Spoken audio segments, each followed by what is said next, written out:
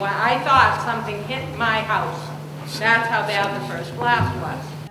At a jam-packed meeting at Government Center last week, neighbors blasted the developers of the 120-acre former Polaroid site. A family picture came crashing down on my computer at that point of the blast. Now, you know, what am I supposed to, oh, well, I'm supposed to go along with this? We're not important enough for those investors or developers to be here tonight to, to talk about this. Hagop Hagopian said that this light fixture fell because of blasting the day before. The mayor said that, that you, you're going to be covering damage to sewers for the next 10 years. What, what about the damage that's, that is going to be apparent to my home for the next 20 years? You're driving me crazy. This has been going on for 15 months. You're, you're killing me here. The blasting supervisor responded that 85% of the work was done and that it was in compliance with state regulations. There's a tremendous amount of rock out there. We're, we're trying to get it blasted as safely in a timely manner as possible. And again, we are at 15 to 20 percent of the legal limits. We are far below what is allowed by state and federal regulations as well as the town of Waltham. Jennifer Patton lives and works in the affected neighborhood. My office building now has dirty water because of the impact to the lines of water coming in. She asked the mayor that a mitigation fund be set up.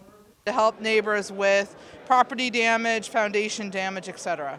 Also on hand were local unions who set up an info booth outside. So when you see the big corporations come in, you know, you, you got to stand up for the little people, and, and that's all we are, just the middle class little people that have broad shoulders and work very hard and bring uh, prosperity to our community. They press reps for 1265 Main to hire union members from Waltham as construction plans move forward.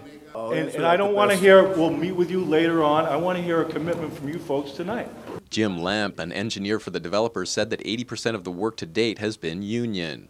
But he added that decisions about contracts would be up to the site's owners who were not in attendance. But, but I'm not, I am not an owner at the point that can make that commitment. So I, I apologize, but this is not the place where I can make a commitment or anybody else can. The other worry was traffic. Volume will multiply in residential streets near the site after Phase 1 is completed. It was a mess with Polaroid.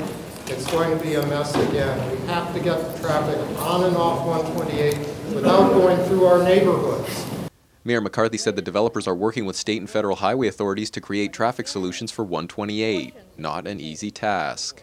And it's a very complicated process because if you have a change to the interchange, you impact the entire federal regulation system. The meeting was intended in part to name tenants with plans to open as part of Phase 1. Market Basket could be up and running as early as December or early 2014. Other tenants are the Chateau spinoff Jake and Joe's, Bonefish Grill, Marshall's, and drive-throughs for a TD Bank and a Starbucks. Phase 2 will include an office building. Lamp said that it was three to five years off. This Lakeview resident could hear some of the blasting from her home last week. Um, I'm looking forward to it opening. That I'm looking forward to Marshalls and Market Basket and things like that being that close and not having to go to Burlington or Watertown.